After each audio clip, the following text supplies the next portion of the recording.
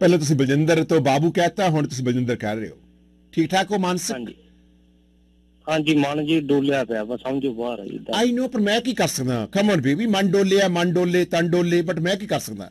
ਤੇਰਾ ਮਨ ਵੀ ਡੋਲਿਆ ਤੇਰਾ ਤਨ ਵੀ ਡੋਲਿਆ ਆ ਤੇਰਾ ਸਾਰਾ ਸਰੀਰ ਹੀ ਜਿਹੜਾ ਹੈ ਉਹ ਇਸ ਵੇਲੇ ਡੁੱਲਦਾ ਪਿਆ ਆ ਔਰ ਜਿਹੜਾ ਨੂਰ ਹੈ ਉਹ ਖਤਮ ਹੋ ਚੁੱਕਾ ਹੈ ਜ਼ਿੰਦਗੀ ਦਾ ਔਰ ਸੁਭਾਵਕ ਹੈ।